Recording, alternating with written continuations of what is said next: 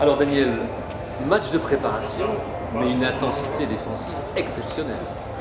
Exceptionnel, je pense que si la Belgique veut avoir une chance de s'en sortir contre les gros barras européens, il va falloir défendre. Défendre afin d'avoir des ballons de contre-attaque et des paniers faciles, parce qu'on voit que euh, sur du jeu placé en 55, on a difficile à scorer. Alors, face à cette équipe polonaise qui accueille aujourd'hui Gortat, on se rend compte plus que jamais que c'est à l'intérieur qu'on va souffrir.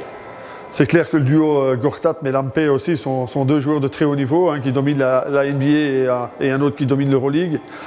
C'est un peu comme ça dans toutes les grosses écuries, dans toutes les grosses équipes européennes. Donc la Belgique doit trouver des solutions collectives pour justement empêcher cette domination intérieure et doit faire aussi en sorte de, fatiguer ces, super attaquants et ces super euh, grands formats en les faisant courir, en les faisant défendre sur des joueurs un peu plus mobiles, comme Christophe Beguin, comme Axel Hervel, voire Sacha Masso. Lojeski, dans ce, concert-là, euh, il apporte quoi à la Belgique? Il apporte déjà une menace permanente offensive. Matt, on ne peut pas le laisser ouvert. Il est capable de se créer des shots seul. Il est capable de scorer dans beaucoup de positions.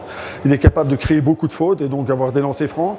Donc euh, c'est un, un, joueur qui va attirer la défense euh, adverse et qui va libérer des espaces uniquement par son mouvement et son déplacement aussi sans ballon.